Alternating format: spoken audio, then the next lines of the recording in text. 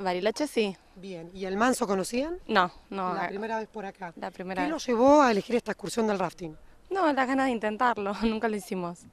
Saben que son grados importantes, ¿no? Sí, Tienen sí, hasta sí, grado sí. 4. Sí, sí, sí, conocíamos, pero bueno, nunca lo hicimos, así que vamos a ver. A ver qué, qué será esto de la excursión, a ver qué, qué se van a encontrar. La verdad ni sabemos.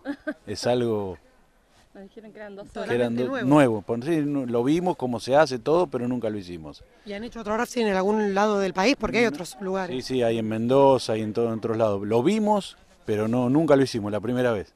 Y teníamos ganas de hacerlo por haberlo visto. Claro. Y las imágenes llaman, ¿no? Sí, Y el sí. entorno, ¿qué les parece este entorno?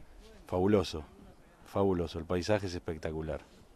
Bien, y ya los vemos, están totalmente luqueados. Están con los chalecos, el equipo es un, e- un equipo muy estricto. Sí, sí, sí. Así costó ponerse todo. Sí. Así que ya tenemos todas las medidas de seguridad.